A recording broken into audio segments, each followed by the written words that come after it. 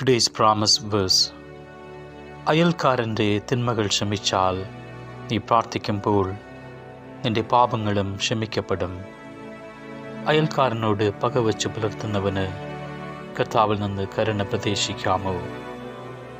പ്രവാചകൻ അധ്യായം ഇരുപത്തിയെട്ട് രണ്ടും മൂന്നും വാക്യങ്ങൾ. God bless you